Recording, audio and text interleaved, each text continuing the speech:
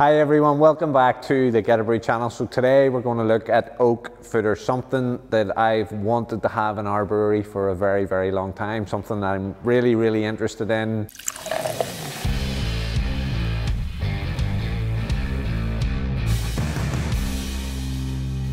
You're going to say, what is it? It's an oak vat, and you know what's a foeder? It sounds like food with an er at the end of it. It's you know it's not a fooder in that sense. It's a large oak foudre. My pronunciation of that isn't going to be very good at all, but um, it's something we've wanted to get involved in. So, like, we would like to cover a topic of this and cover it over multiple different videos and feature different parts of it. So, one thing I wanted to share with you was my experience in sourcing them. So, we dealt with a French um, cooperage uh, on these particular foudres that are here. And these are like, they're second hand, they're ex wine, but we've had them, had some changes made to suit our needs. So whenever you go to look for an oak foeder, I guess the critical thing is to do some research on what they've been used for previously. Like we all have the opportunity to go and buy these brand new, but we maybe don't all have the, the ability to buy them brand new and spec them out. So you can source them secondhand. You can have the cooperage make adjustments. For example, on these um, foeders, what we got them to do was to put some cooling plates inside, which would allow us obviously to cool the beer whenever it's inside the, the foeder, but also equally to put on some solenoids that we could rig up and do heating and cooling so we can regulate the temperature.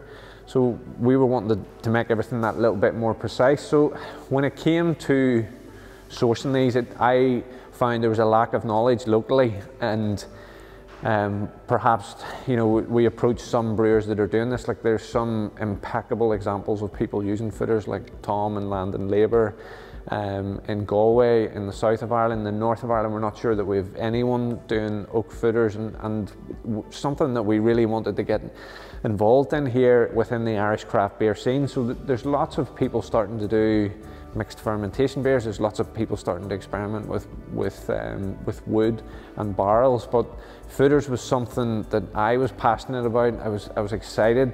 I was looking online. I was reading blogs. I was looking to anywhere to get more information. I, I picked up the wood and beer book off Amazon and, and I was digesting it to try and learn what, what do I do, what, what do I look for. So when I was reaching out to my distribution partners that we supply ingredients for, I'm asking them, can, can you help me with information on, on what to do with this? So we took what information we could. We read books, we read blogs, we rang friends, you know, and did what we could. So for, for me to give you some tips, when sourcing an oak foeder, you want to know the background of the, the oak. You want to know what was in it. Was it a spirit? Um, like there's lots of weird and wonderful things out there now. You can get you know, soy sauce barrels. You can get hot sauce barrels, tequila, rum, whiskey, bourbon. These particular ones are wine. And we knew obviously that it came from a great wine region, cognac region. And um, like the quality of the oak is something that needs to be taken into consideration as well. So you need information from the cooperage as to, you know, the thickness of the staves, um, the char that was inside it, the you know even the way that you know the, the staves are shaped internally can affect the flavors. The depth of the char can create different reactions and create different flavor profiles and there's a lot of complexities in the science there that would create very different outcomes for your beer. Things that you might want to consider adding like obviously you may want to do primary fermentation in them so you're going to want a hole for a bubble or airlock. If you're going to be you know, adding fruit and grapes leaves or grape skins. You may want a manway door to enable easy cleaning. For example, we've put the cooling plates inside um, before they arrived here. Uh, sample ports, butterfly valves. You could even go as far as putting stainless steel manholes on top and stainless steel manholes on bottom. What way that you're going to, to fit them in the brewery, where are you going to store them?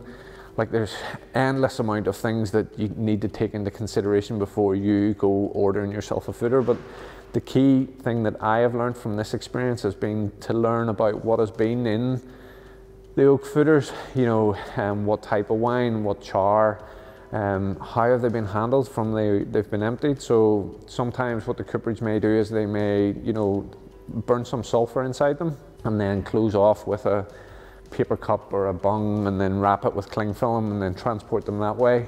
Others may, you know, transport them with nothing. Then you need to be wary of making them clean whenever they arrive. And others would transport. They could come with spirits still in it. They could come with wine still in it. So visual inspection upon arrival is critically important. So what you're going to want to do when it arrives is obviously, you know, just check for bulges, for breakages, for visual damage. You know, run your hand over it, check for gaps. So what we had found with these particular foeders was that they had dried slightly in transit, and um, given the time of the year that we had moved them. So the hoops had moved, and if we can just point your attention, there's little nails here, little holders that where this the the hoops you know have been taken to, and you can a point to note is make sure that there isn't holes all over the place these have been moved multiple times.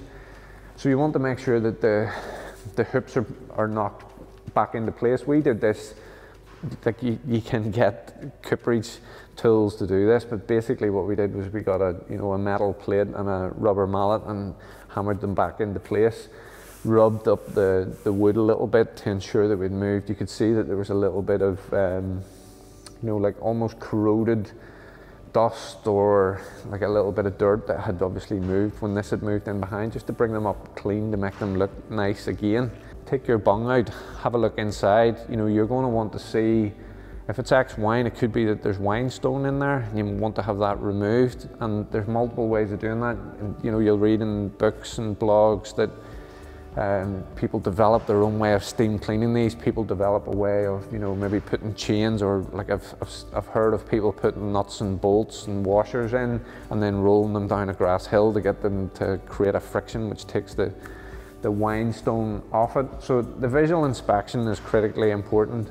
And then you need to manage the, the foeder. So they're going to need rehydrated and they're going to need left with either a storage solution or depending on how you find them, they may need a, a cleaning solution added. So like we're going to try and share information. We're going to put some uh, information in below on what we have done with these. So the foeders have only arrived into the brewery. We haven't had the opportunity to, to fill them with beer.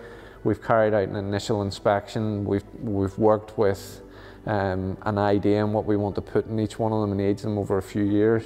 But We've just put a storage solution into them, so a sodium metabisulfite um, solution, and I can put the ratio down below. And we filled it with hot water and checked the temperature to make sure that we were getting that temperature not just from the inside but to the outside. So we wanted to make sure we were hitting over 60 degrees.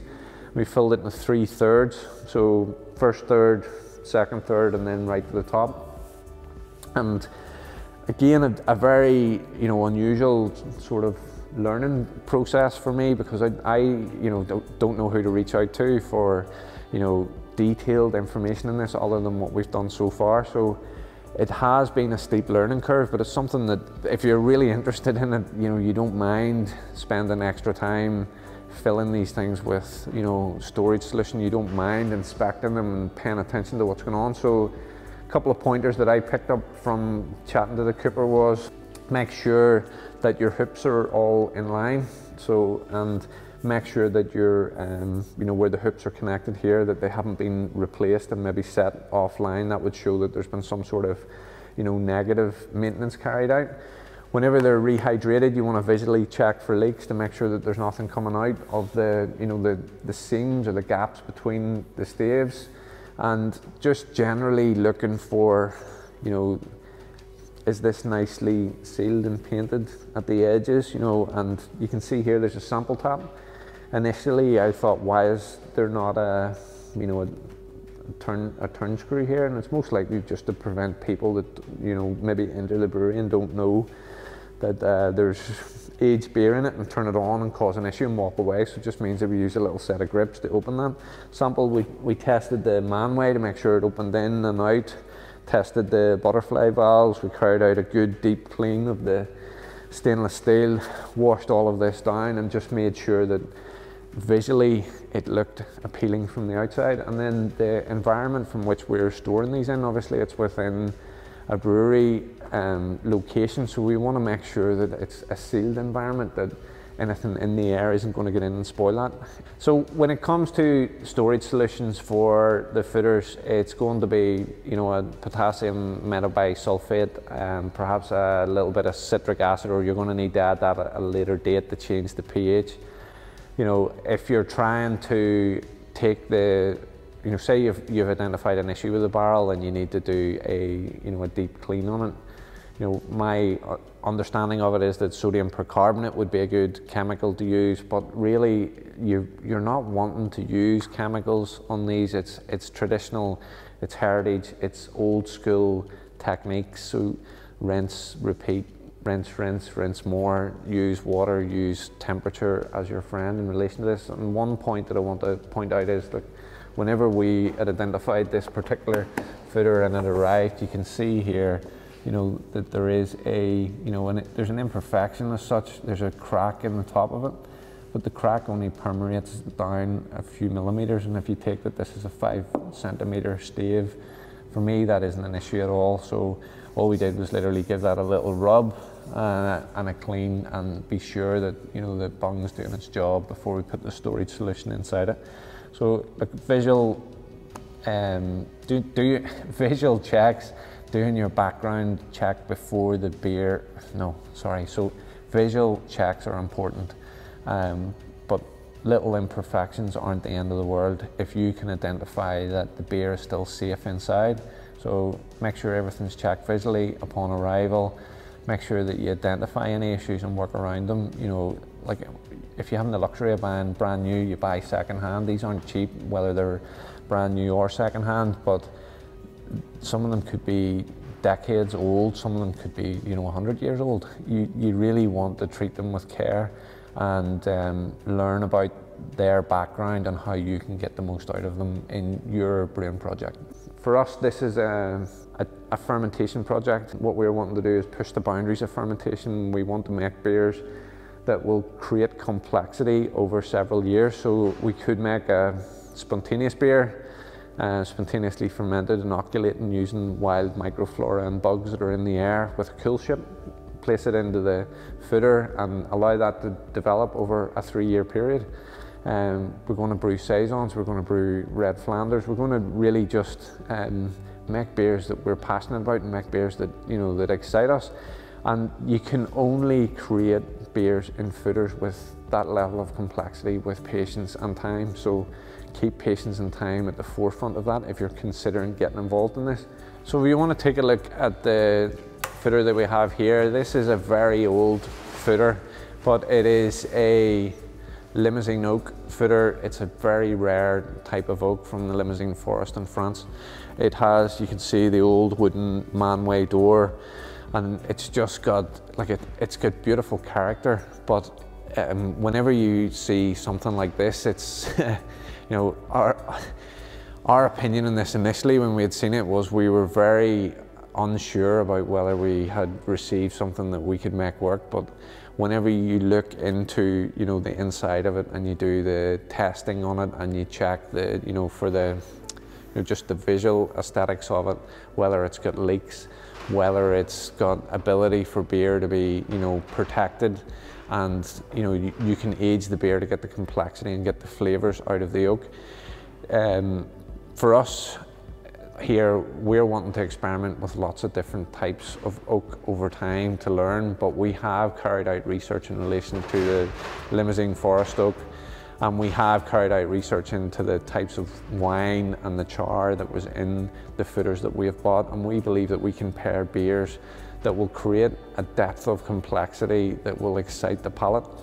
So this is a long running project It's going to take several years to come to fruition and we may use like a Solera effect where we would draw some of the volume of the aged beer off and blend it with new beer and we'd blend that at different percentages and then we'll refill the foeders and allow time to develop so there's lots of factors for us and we really love to talk more about this. And if you have any tips, if you have any experience about oak foeders, you know, like comment below, interact with us, let us know your tips and tricks, let us know what you like about this. Um, like I'm not affiliated with these guys in this book at all, but I've found this book an excellent knowledge resource. It's Wood and Beer, a brewer's guide, written by Dick Cantwell and Peter Bouckaert.